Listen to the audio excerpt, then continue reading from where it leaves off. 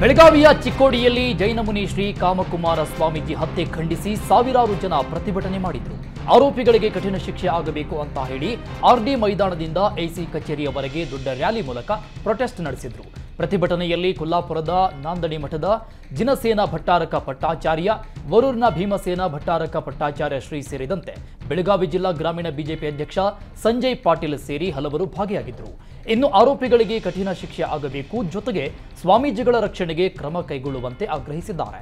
ಇನ್ನು ಬೃಹತ್ ಪ್ರತಿಭಟನೆಯಿಂದ ಎಸ್ಪಿ ಸಂಜೀವ್ ಪಾಟೀಲ್ ನೇತೃತ್ವದಲ್ಲಿ ಬಿಗಿ ಭದ್ರತೆ ಕೈಗೊಳ್ಳಲಾಗಿತ್ತು. ಅಲ್ಲದೆ ಚಿಕ್ಕೋಡಿ ಎಸಿ ಮಹಾದೇವ್ ಗಿತ್ತೆಗೆ ಮನವಿ ಸಲ್ಲಿಕೆ ಮಾಡಿದ್ದಾರೆ. ಜೈನ ಮುನಿಗಳ ಹತ್ಯೆ ಸದನದಲ್ಲೂ ಪ್ರತಿಧ್ವನಿಸಿದೆ. ವಿಧಾನಸಭೆ, ವಿಧಾನ ಪರಿಷತ್ನಲ್ಲಿ ನಾಯಕರು ಪ್ರಸ್ತಾಪ ಮಾಡಿದ್ದಾರೆ. ವಿಧಾನಸಭೆಯಲ್ಲಿ ಶಾಸಕ ಅಭಯ್ ಪಾಟೀಲ್, ಟ್ರಸ್ಟ್ನವರ ಮೇಲೆ ಪೊಲೀಸರು ಒತ್ತಡ ಹೇರಿದ್ದಾರೆ ಅಂತ ಪ್ರಸ್ತಾಪಿಸಿದ್ದು, ಟ್ರಸ್ಟ್ನವರನ್ನ ಆರೋಪಿಗಳ ಪಟ್ಟಿಯಲ್ಲಿ ಸೇರಿಸ್ತಾ ಇದ್ದೀರಾ ಅಂತ ಹೇಳಿದ್ದಾರೆ. ಇನ್ನು ಪರಿಷತ್ನಲ್ಲಿ ಎಂಎಲ್ಸಿ ರವಿಕುಮಾರ್ ಕೂಡ ವಿಚಾರ ಪ್ರಸ್ತಾಪ ಮಾಡಿದ್ದು, ಸರಳ ಸ್ವಾಮೀಜಿ ಆಗಿದ್ರು, ಆದರೆ ಅವರನ್ನೇ ಭೀಕರ ಹತ್ಯೆ ಮಾಡಿದ್ದು ದುರಂತ ಅಂದರು. ಅಲ್ಲದೆ ಸಿಬಿಐ ತನಿಖೆಗೆ ಪ್ರಕರಣ ವಹಿಸುವಂತೆ ಆಗ್ರಹಿಸಿದ್ದಾರೆ.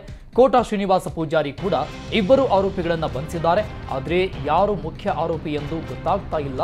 ಬೊಮ್ಮಾಯಿ ಕೂಡ ಇದು ಪೂರ್ವ ನಿಯೋಜಿತ ಕೃತ್ಯ ಅಂದ್ರೆ ಇತ ಸಿಎಂ ಸಿದ್ದರಾಮಯ್ಯ ನಾಳೆ ಹತ್ಯೆ ಬಗ್ಗೆ ಸದನಕ್ಕೆ ಮಾಹಿತಿ ಕೊಡುತ್ತೇನೆ ಅಂತ ಉತ್ತರ ಕೊಟ್ಟಿದ್ದಾರೆ. ಚಿಕ್ಕೋಡಿ ಜೈನ ಮುನಿ ಹತ್ಯೆ ಕೇಸ್ ರಾಜಕೀಯ ತಿರುವನ್ನ ಪಡೆದುಕೊಳ್ತಾ ಇದೆ. ರಾಜಕೀಯ ನಾಯಕರ ಮಧ್ಯೆ ವಾಗ್ಯುದ್ಧವೇ ನಡೀತಾ ಇದೆ. ವಿಧಾನಸೌಧದಲ್ಲಿ ಬಿಜೆಪಿ ಶಾಸಕ ಸಿದ್ದು ಸವದಿ ಮಾಡಿದ ಆರೋಪ ದೊಡ್ಡ ಕೋಲಾಹಲವನ್ನೇ ಸೃಷ್ಟಿ ಮಾಡಿದೆ. ಜೈನಮುನಿಯನ್ನ ಉಗ್ರವಾಗಿ ತುಂಡು ತುಂಡು ಮಾಡಿದ್ದಾರೆ. ಇದರ ಹಿಂದೆ ಐಸಿಸ್ನ ಕೈವಾಡವಿದೆ ಅಂತ ಆರೋಪಿಸಿದರು. ಅಲ್ಲದೆ ಸರ್ಕಾರದ ಮೇಲೆ ನಂಬಿಕೆ ಇಲ್ಲ.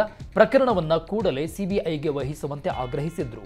ಇದಕ್ಕೆ ಟಾಂಗ್ ಕೊಟ್ಟ ಪ್ರಿಯಾಂಕ ಖರ್ಗೆ, ನಿಮ್ಮ ಬಳಿ ಪುರಾವ ಇದ್ರೆ ತನಿಖಾ ಸಂಸ್ಥೆಗೆ ನೀಡಿ. ನಮ್ಮ ಗೃಹ ಇಲಾಖೆ ಸಮಗ್ರವಾಗಿ ತನಿಖೆ ಮಾಡುತ್ತೆ ಅಂತ ಸಚಿವ ಪ್ರಿಯಾಂಕ ಖರ್ಗೆ ಹೇಳಿದರೆ, ಜೈನ ಮುನಿಗಳ ಹತ್ಯೆಗೆ ರಾಜಕೀಯ ಬಣ್ಣ ಹಚ್ಚಬಾರದು, ಎಲ್ಲದರಲ್ಲೂ ರಾಜಕೀಯ ಮಾಡಬಾರದು ಅಂತ ಗೃಹ ಸಚಿವ ಪರಮೇಶ್ವರ್ ತಿರುಗೇಟನ್ನು ಕೊಟ್ಟಿದ್ದಾರೆ.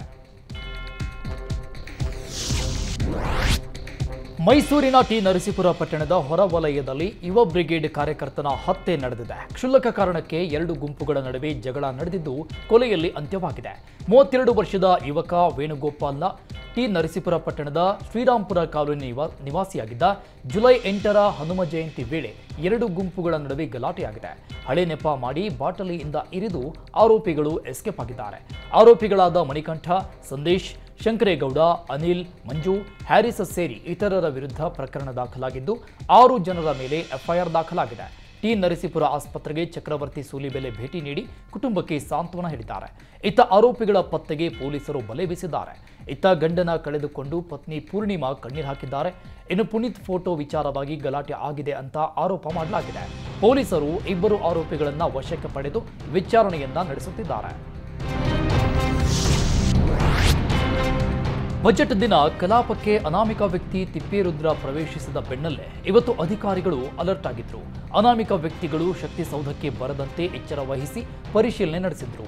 ಬೆಂಗಳೂರು ನಗರ ಪೊಲೀಸ್ ಕಮಿಷನರ್ ದಯಾನಂದ್ ವಿಧಾನಸೌಧದ ಭದ್ರತೆ ಚೆಕ್ ಮಾಡಿದ್ರೆ ಸಿಸಿಬಿ ಜಂಟಿ ಆಯುಕ್ತ ಶರಣಪ್ಪ ಸಾಥ್ ನೀಡಿದ್ರು.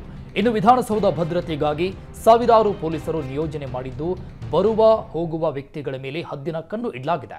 ಇನ್ನು ವಿಧಾನಸೌಧದ ಸಿಬ್ಬಂದಿಗಳಿಗೂ ತಪಾಸಣೆ ನಡೆಸಿದ್ರು. ಇದರ ಮಧ್ಯೆ ಸ್ಪೀಕರ್ ಯುಟಿ ಖಾದರ್ ಕೂಡ ಅಧಿಕಾರಿಗಳಿಗೆ ಕ್ಲಾಸ್ ತೆಗೆದುಕೊಂಡಿದ್ದು, ಎಚ್ಚರ ವಹಿಸುವಂತೆ ಸೂಚಿಸಿದ್ರು. ಅಲ್ಲದೆ ವಿಧಾನಸೌಧ ಸುತ್ತ ರೌಂಡ್ಸ್ ಹಾಕಿ ಭದ್ರತೆ ಪರಿಶೀಲನೆ ಮಾಡಿದ್ರು. ಇನ್ಮುಂದೆ ಶಕ್ತಿಸೌಧ ಪ್ರವೇಶಕ್ಕೆ ಪಾಸ್ ಕಡ್ಡಾಯ ಮಾಡಿದ್ರು. ಯಾವುದೇ ಲೋಪವಾಗದಂತೆ ಎಚ್ಚರಿಕೆ ವಹಿಸಿದ್ದಾರೆ.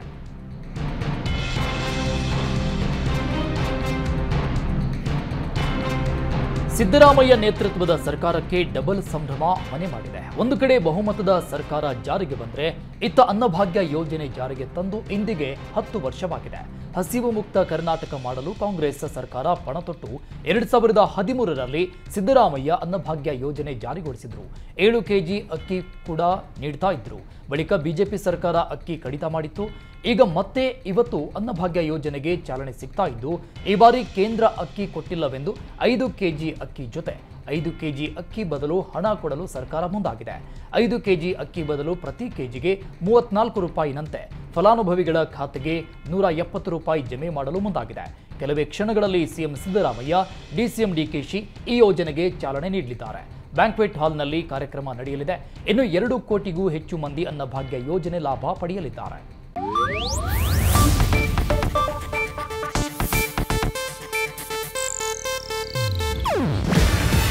ಇದು ಏಷ್ಯಾನೆಟ್ ನ್ಯೂಸ್ ನೆಟ್ವರ್ಕ್ ಪ್ರಸ್ತುತಿ. ನೀವು ನೋಡ್ತಿದ್ದೀರಾ ಏಷ್ಯಾ ನೆಟ್ ಸುವರ್ಣ ನ್ಯೂಸ್.